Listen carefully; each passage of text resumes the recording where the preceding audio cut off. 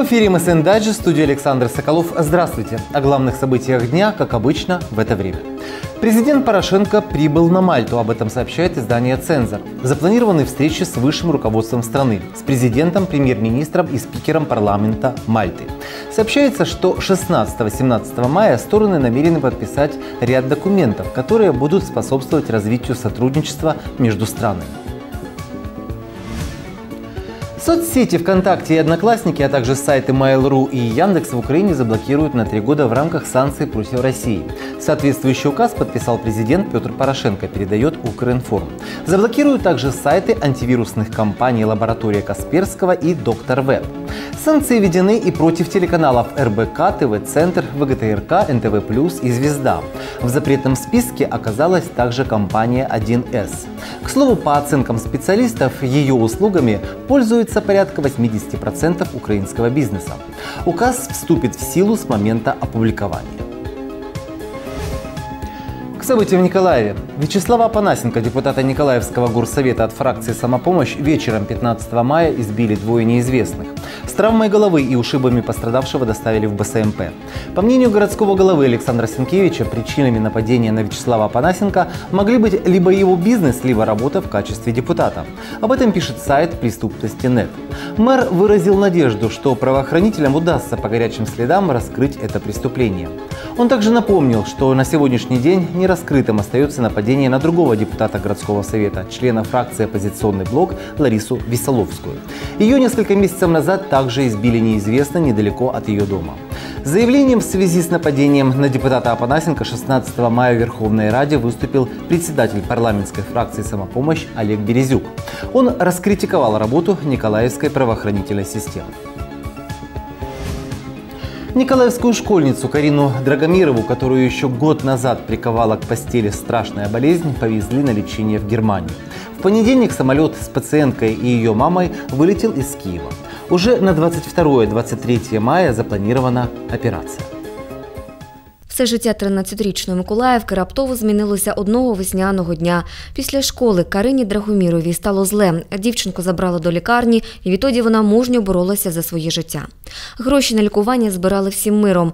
Наприкінці грудня 2016-го за підтримки голови Миколаївського ОДА Олексія Савченка маленьку пацієнтку перевезли до Ахмаддиту. За його ж допомогою майже 200 тисяч євро на лікування дитини в німецькій клініці Хеліус виділила держава.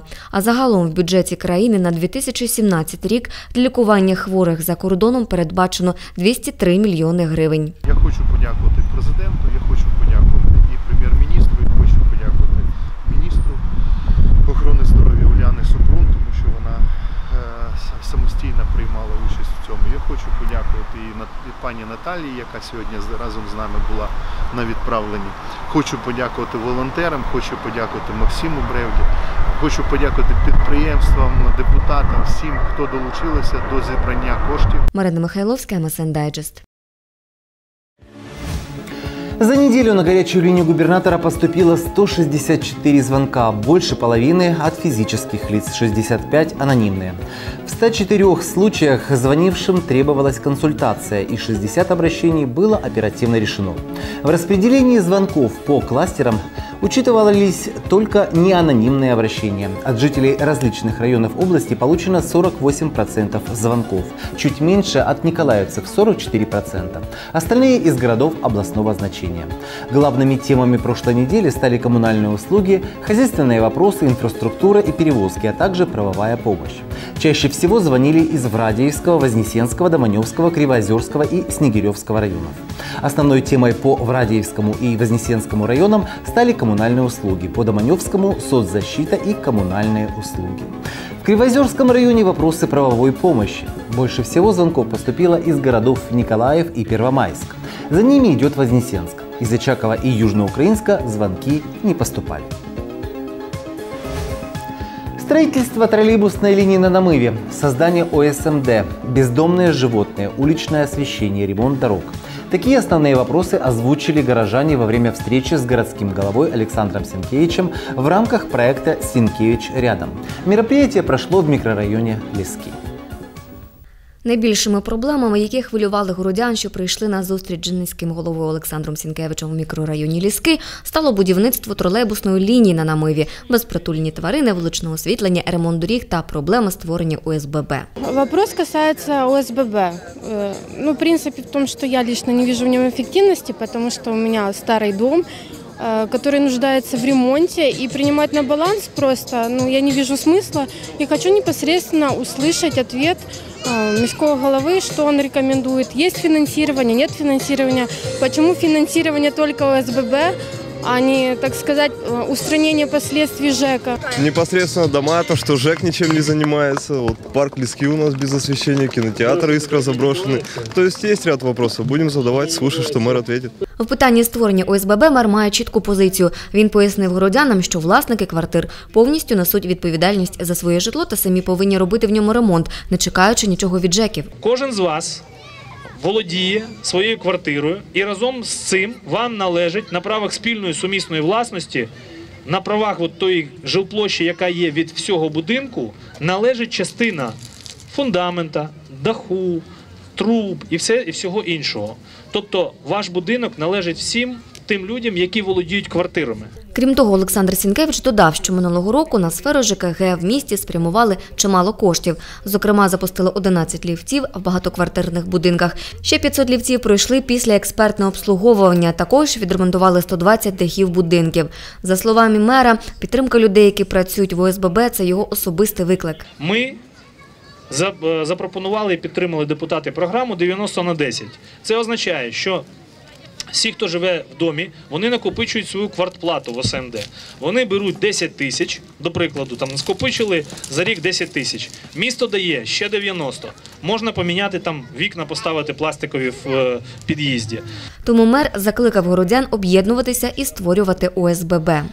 Ми надалі просимо вас, будь ласка, організовуйтесь, створюйте СМД.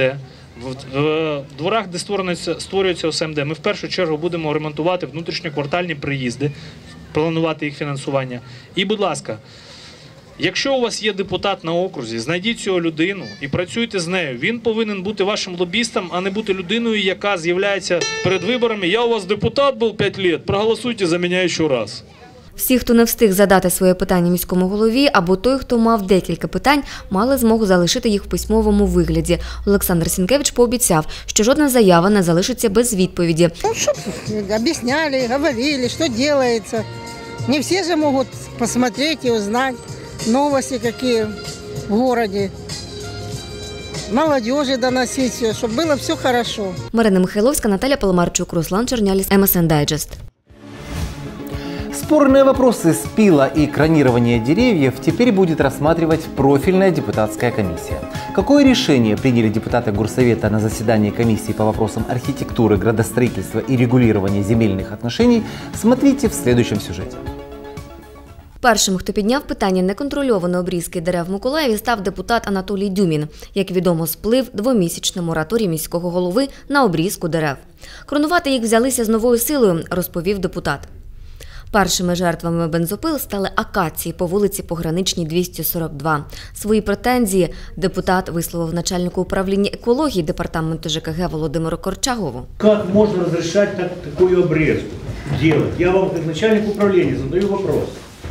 Ну хорошо, если мэр разрешил дальше, был мораторий, сейчас разрешил. Ну как можно так обрезать? Кто следит за этими вещами? Вы же уродуете мой город. Если это не ваш город, мой город вы уродуете. Вы понимаете, остаются вот пни, когда это все отрастет. Но я понимаю, если... Е- да. Я смотрел с того года. Значит, 8 деревьев спилили, одно дерево отошло. Вы что творите? Или вы устали в своей должности? Поверьте мне, мы, депутаты, решим этот вопрос быстро. Значит, действительно, на сегодняшний день доручение городского головы закончилось, но вступило в силу 27 февраля и 27 апреля закончилось. С- в соответствии с правилами эксплуатации зеленых насаждений, обрезка зеленых насаждений запрещена. Поэтому по вашему адресу пограничная 242, дворы ВГДЕ, я сейчас же выеду и вам лично перезвоню, это первое. Второе. То есть это было Выполня- неразрешенно, правильно? Ну, во всяком случае, надо увидеть, что Там сделано. пакет документов есть. Что делались, кто делал, какой подрядчик. Депутати попросили Володимира Курчахова випрацювати правила обрізки дерев. Зокрема, Олег Крісенко закликав визначитися, кому залишати цю функцію районним адміністраціям, як зараз, чи повернути в повноваження департаменту екології. Если это был департамент ЖКХ управления экологии, предлагаю вернуть им полномочия по обрезке деревьев по всему городу. И тогда с них спрашивать по всей строгости. Если мы отдаем это в районы, значит и э, исполнительная власть хочет оставить это так, как и есть на сегодняшний день, тогда надо провести рабочее совещание с районами, определить правила игры для всех одинаково и жестко требовать в случае их нарушений. На Володимира Корчагова посипалася критика з усіх боків. Зрештою, начальник департаменту в серцях заявив, що в такому разі варто взагалі заборонити будь-яку обрізку дерев.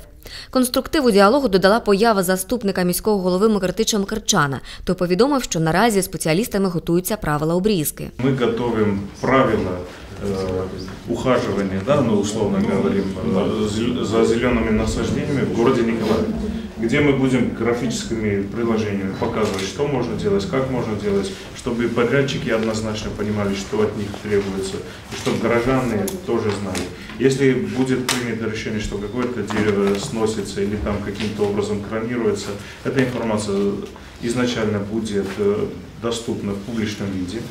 Вы за- зашли на сайт, посмотрели, что этого адреса там нет, значит это стопроцентно незаконно. Этого никто не должен делать. Вот все, что законно, должно быть там. Зрештою, депутати проголосували, щоб тепер кожне питання про кронування чи обрізку дерев розглядалося безпосередньо на депутатській комісії. Все э, а- а- разрешения на спил д- деревьев с- сначала приносить нам на комиссию, на профильную, мы их тут изучим, одобрим и, и, и тогда спиливать. Марина Михайловська, Олег Гордій, Олег Усеїнов, МСН. К событиям в мире. Визит в Германию в первый же день своего пребывания у власти совершил французский президент Эммануэль Макрон. Об этом пишет Укринформ. Как заявила канцлер Германии Ангела Меркель, сила ЕС зависит от Франции. Меркель подчеркнула, что они с Макроном убеждены в необходимости расширения Евросоюза. А Макрон, в свою очередь, призвал к исторической реконструкции Союза. Он предлагает ввести единый бюджет и должность министра финансов, а также отдельный парламент стран еврозоны. К этим революционным инициативам Макрона Меркель отнеслась осторожно. Греция осталась на сутки без новостей и без паромного сообщения, пишет сайт «Корреспондент». Журналисты и моряки проводят забастовки в знак протеста против новых мер экономии. Кроме того, до 16 часов 17 мая не будут ходить в пригородные поезда, метро и автобусы в международный Афинский аэропорт. 17 мая 1904 года родился известный французский актер театра и кино, офицер Ордена Почетного Легиона, лауреат премии Венецианского и Берлинского кинофестивалей и премии «Сезар» Жан Габен. Он по праву считается одной из величайших звезд французского кинематографа. Мастер утверждал, что самая большая глупость в жизни человека – это ложь. Самая большая ошибка – потерять самого себя. А самая большая утрата – это потеря надежды. Никогда не теряйте надежду и веру в себя. До встречи!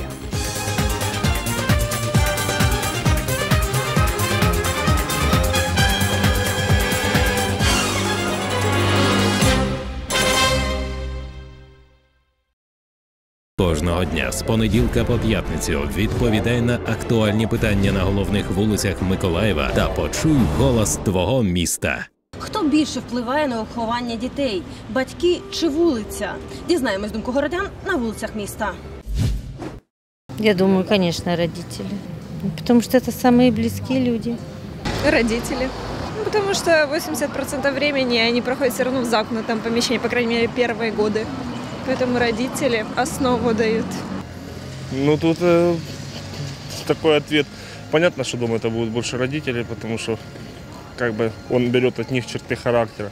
Но в то же время окружающая среда тоже на него будет влиять. Он будет смотреть, как в одних или других ситуациях себя ведут другие люди, и тоже будет себя так же само вести. Поэтому я считаю, и то, и то очень сильно влияет на воспитание ребенка.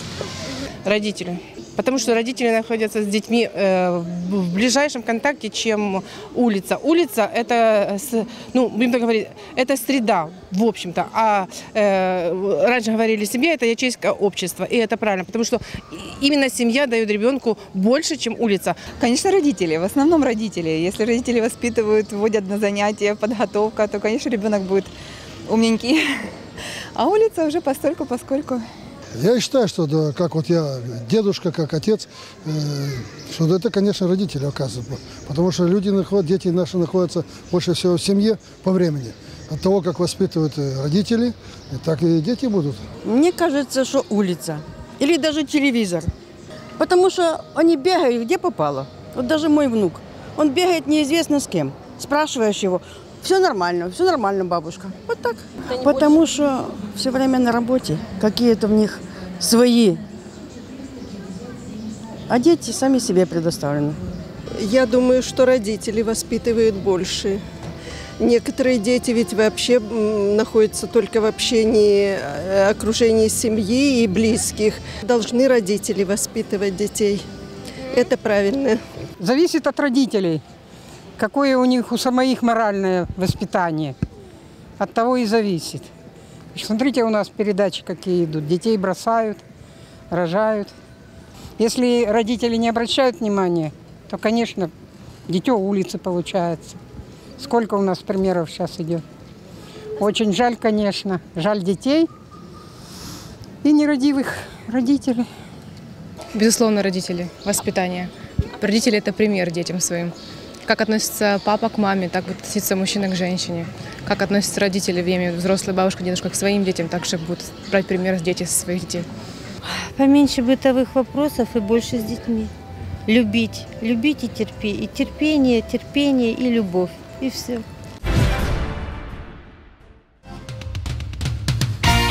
Серед найбільших радощів людини чути, відчувати, а значить, розуміти світ. Слуховий центр Сіменс Миколаїв. Німецька якість, безкоштовні консультації та підбір слухових апаратів, реальні ціни, широкий асортимент, кваліфіковані фахівці. Слуховий центр Сіменс Миколаїв. Все для вас і вашого здоров'я.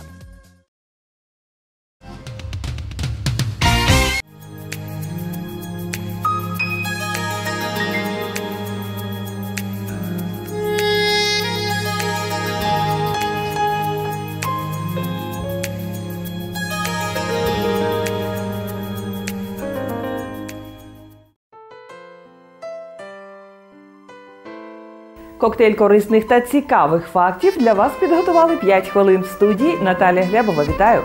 Увага! Наступними днями ми можемо отримати якісь новини, які кардинально розвернуть події місяця. Зазирнемо до небесного диспетчера. Овни, ви потрапите в хвилю, вибратися з якої вам буде непросто. Доведеться терпляче чекати, поки вона спаде сама. Тельцям може виявитися непросто зібратися з власними думками. Зберіться з чужими, тільки виберіть когось, чиї думки вам не дуже неприємні. Близнюки, проведіть цей час на людях. Не закривайтеся вдома один на один з телевізором. Тим більше, що там все одно нічого цікавого немає. Раки, якщо у вас є що захищати, не соромтеся відстоювати свою точку зору. Пам'ятайте про те, що у вас є права. Леви, якщо не можете дозволити собі розкіш провести час подорожі, постарайтеся хоч на пару часів змінити обстановку. Діви, заглянувши кудись без особливої на то потреби, побачивши там жахливий безлад, ви не зможете не взяти участь в його усуненні. Може, краще не варто проявляти зайву цікавість? Терези, чим ширше ви розкриєте двері, тим більше світла, свіжого повітря і гостей у них прийде. Втім, останніх можна і відфільтрувати. Скорпіони, якщо хтось вас чомусь звинувачує, то це серйозний привід задуматися, особливо якщо звинувачення повністю позбавлені якої б то не було підстави. Стрільці хтось явно поклав на вас око, і цими днями ви ризикуєте стати об'єктом активних залицянь. Козероги, не будьте занадто суворі до своєї особи. Ви досить миле створіння, і воно сподобається не тільки вам, але й більшості оточуючих. Водолії, вам варто уважніше поставитися до питання взаєморозуміння. Від того, наскільки добре співрозмовник зрозуміє вас, залежить досить багато чого. Риби, постарайтеся не поспішати з прийняттям рішень. Ситуація ще не досягла у своєму розвитку тієї точки, коли вам слід виступити зі своєї ролі.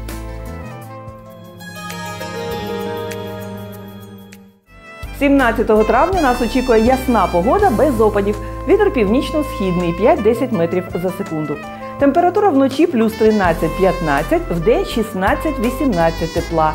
Тиск 766 мм ртутного стовпчику, вологість повітря 32%, імовірність опадів 13%.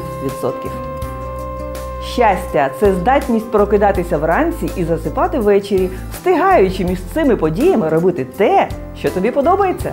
До завтра!